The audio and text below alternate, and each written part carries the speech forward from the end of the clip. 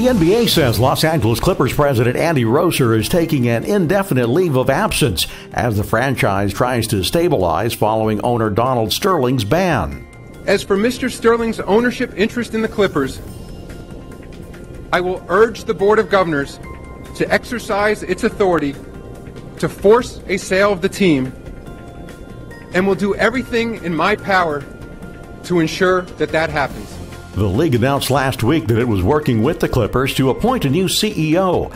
NBA spokesman Mike Bass said in a statement on Tuesday that Roeser's leave of absence, which will begin immediately, will provide an opportunity for a new CEO to begin on a clean slate and for the team to stabilize under difficult circumstances. The Clippers lead Oklahoma City 1 0 in a best of 7 Western Conference semifinals.